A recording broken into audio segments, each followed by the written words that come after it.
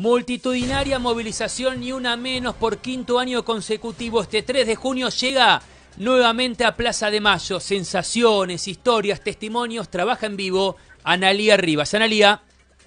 Bueno, estamos aquí a unos metritos del escenario principal. En unos minutos ya va a comenzar la lectura del documento que va a dar por terminada esta manifestación. Están llegando aquí al costado del Cabildo las columnas principales.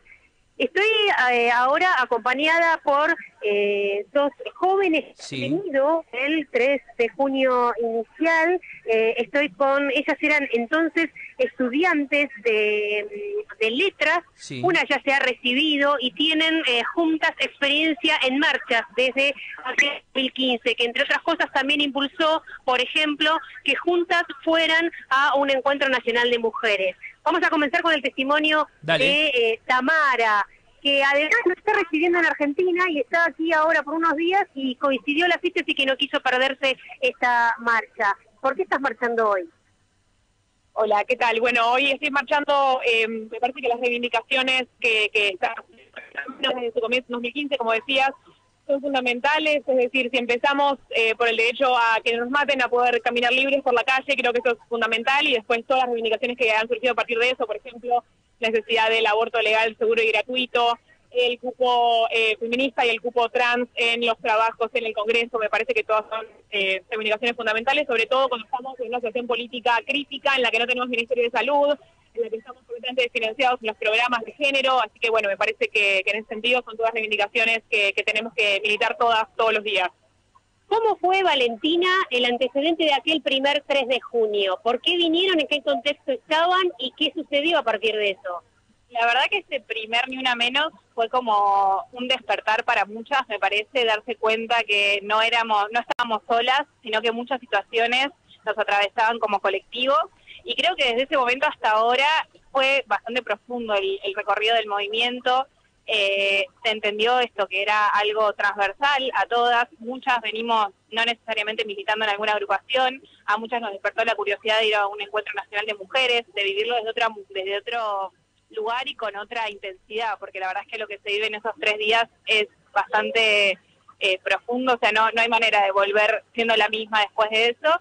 Y creo que, bueno, la, la lucha por el aborto legal, hoy por hoy, eh, sí. también que, que se hace muchos años que se viene eh, tratando de impulsar, pero desde el año pasado con mucha mayor fuerza, es producto también del Ni Una Menos y bueno, creo que eso fue más o menos el recorrido de estos años.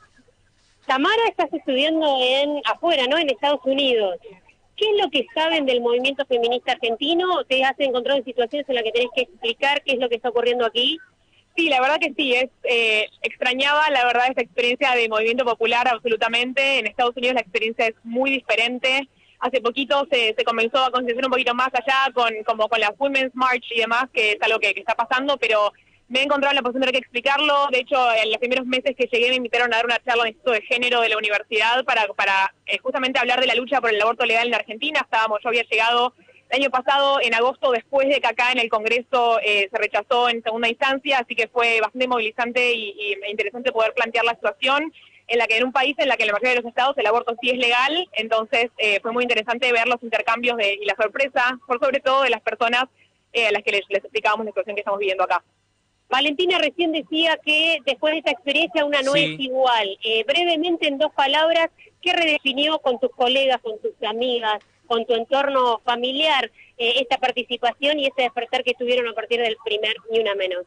Sobre todo para mí es tratar de, de transmitir el despertar en, en, compañeras o madres, tías, eh, otras generaciones que quizás sabemos que, que han estado sometidas a una opresión sistemática, incluso desde, desde la manera de definir los vínculos entre mujeres, ¿no? Eh, y para mí lo más revelador es eso, charlarlo con mi mamá y poder hacerle entender que, bueno, esto no, que le pasó a ella, eh, distintas situaciones eh, eran transversales a, a, todo un colectivo y que se manifiesta de diferentes maneras, ¿no? Eh, y bueno, con compañeras encontrarnos en la lucha, con Tami un poco nos hicimos amigas viniendo acá, eh, compartiendo varias cosas, pero siempre las marchas fueron un lugar de encuentro importante entre nosotras.